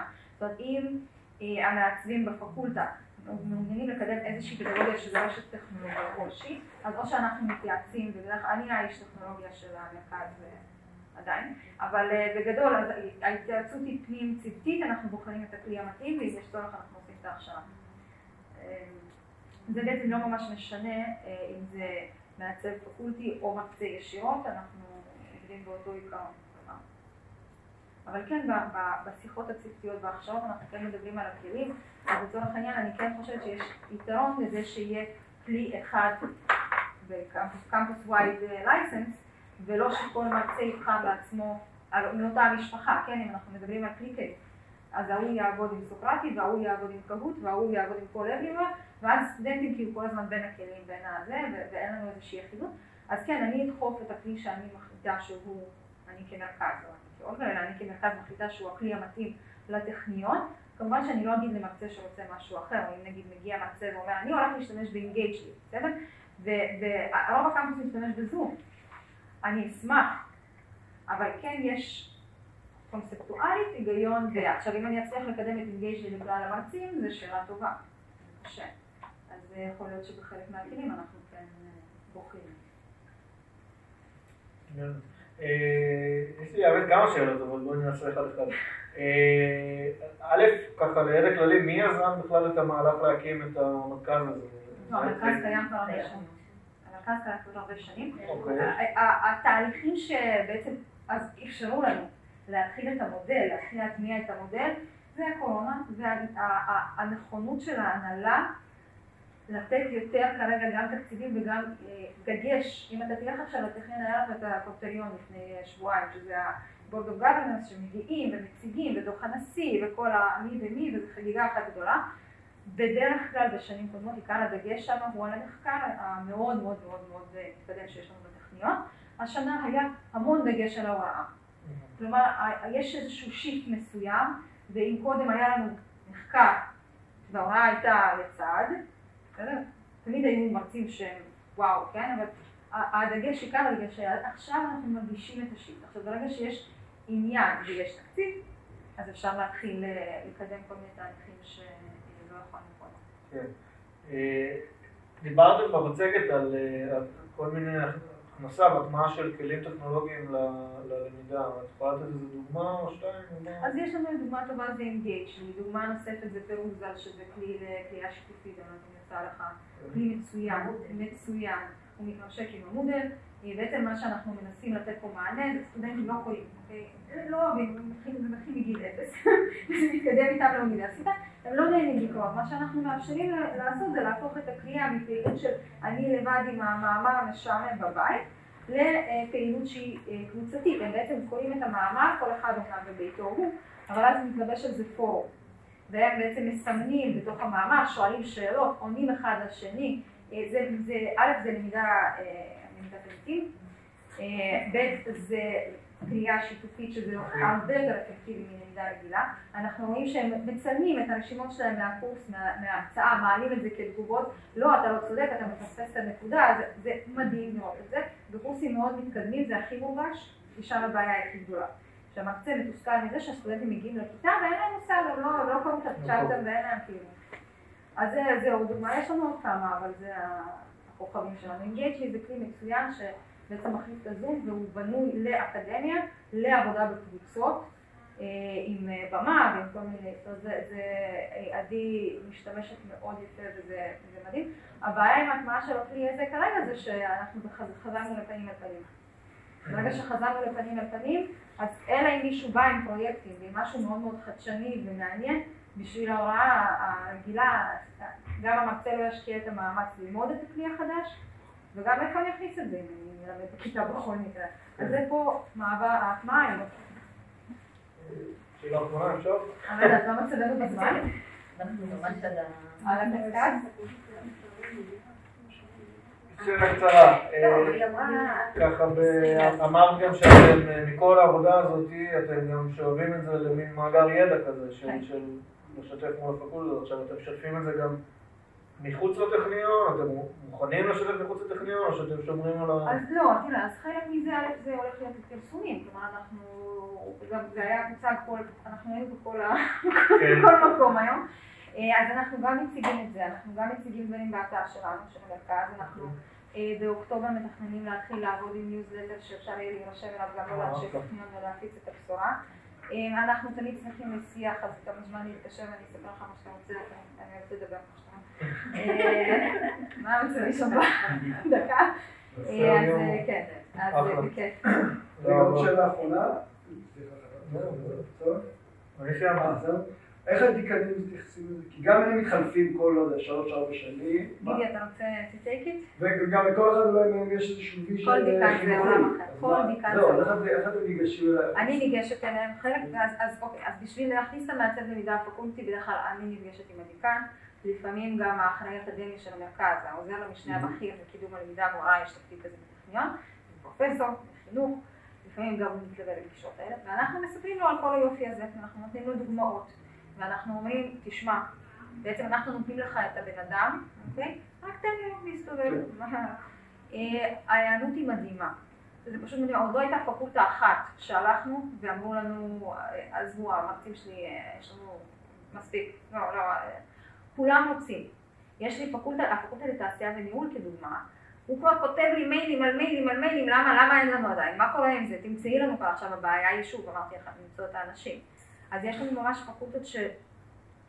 ו- וגידי כדוגמה, כן, עכשיו הצליח אה, לגרום לדיקן שלו לעשות אה, חתיכת מהפך ב... אה, בקורס ש, ש, שהוא מלמד, וזה כמובן ישפיע הלאה, כי שוב, רוח המפקד זה דבר מאוד חזק. אז ברגע שהדיקן מגויס, אז הרבה יותר קל לעבוד. גם כותבים בספרות המקצועית כזה, שכאילו, הדרך לעשות את זה דרך דיקנים. כן. אם הם אומרים, נגיד, to go. אבל אתה ראית, נגיד הדיקן של אה, רפואה שם את הדגש שלו כרגע על הערכה בקורסים כאלה ואחרים. הדיקן של אה, מתמטיקה שם את הדגש כרגע על משהו אחר לגמרי. הדיקן של חומרים עובד כרגע על מעבדות וירטואליות. אה, זאת אומרת, במתמטיקה קורסי בסיס לצורך העניין, כן? מאות סטודנטים, עבודה אחרת לגמרי, אבל זה כרגע מה שהם רוצים להתעסק איתו, אז אנחנו יכולים לתת להם, ואם הם יחליטו שהם הולכים להתעסק עם קורסים מתקדמים לתארים, אה, אז זה מה שהם יקבלו. לעשות דבר לקוח, בוודאי, כאילו, זה טוב שיהיה לכם איזשהו שיח איתם. אתה צריך את השיתוף פעולה, ואתה צריך שהם ייקחו אחריות. כי ברגע שהדיקן מרגיש ש... אוקיי, תעשו מה שאתם רוצים, או המרצים מרגישים, אבל ברגע שהאחריות היא משותפת, והוא מרגיש שהוא קובע את האג'נדה, הוא גם מגויס לזה, הוא ידרוש מהמרצים גם, ואז אנחנו גם... זה לא גזע מבקר, אבל עדיין, אתה כן רוצה שלמרצים יהיה ברור שיש אינטרס, ההנהלה רוצה, הדיקנים רוצים, כי... כי... כי קשה. תודה רבה, אולגה. תודה לכולם.